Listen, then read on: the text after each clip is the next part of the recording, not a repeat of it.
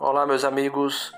É, eu sei que o canal aqui é só para é, evangelização, mas vou estar tá aqui fazendo um tutorial a, que me ajudou porque eu estava com meu é, celular, é um é, LG K62 e a, a navegação dele não tinha um teclado de navegação, era só com gestos de navegação.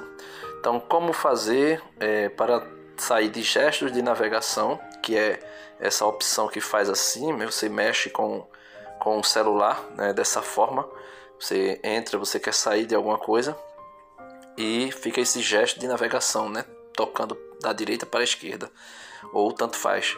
Mas para colocar o teclado, então a gente vai aqui na ajustes, nessa catracazinha, e da catraca a gente vai aqui em barra e a gente pesquisa aqui barra. Ah, vai aparecer aqui embaixo ó, barra de navegação. Clica nele.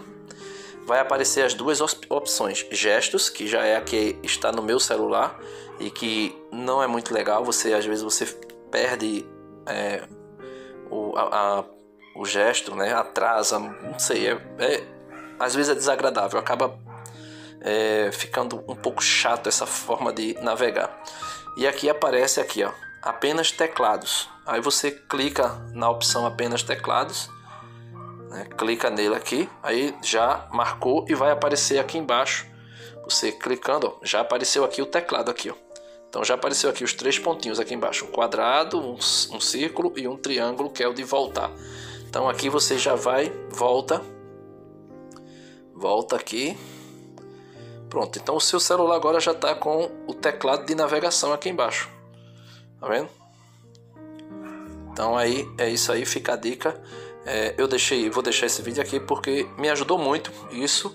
É, eu consegui descobrir, fiquei, achei interessante e se outras pessoas é, desejarem fazer essa modificação, tá aí um tutorial explicando isso. Parece bobagem, mas eu demorei bastante para encontrar essa opção de teclado de navegação.